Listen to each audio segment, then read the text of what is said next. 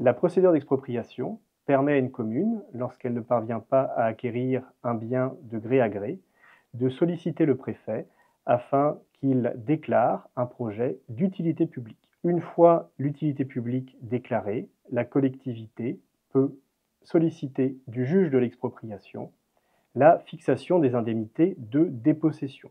Préalablement à cette saisine, la collectivité doit faire une proposition d'achat du bien. Cette proposition n'est pas systématiquement faible, elle n'est pas systématiquement juste non plus. Il faut tout d'abord vérifier quelle est la valeur des biens similaires qui se sont vendus dans un secteur considéré et récemment. En fonction de cette première analyse, vous saurez si l'offre qui vous est faite est cohérente ou s'il est pertinent de saisir le juge de l'expropriation. Lorsque vous saisirez le juge de l'expropriation, il faudra étayer votre position à l'aide de termes de comparaison, c'est-à-dire de ventes qui ont eu lieu dans le secteur concerné et dans un laps de temps relativement bref. La commune va quant à elle produire devant le tribunal d'autres termes de comparaison ou alors raisonner sur les mêmes termes de comparaison, mais expliquer pourquoi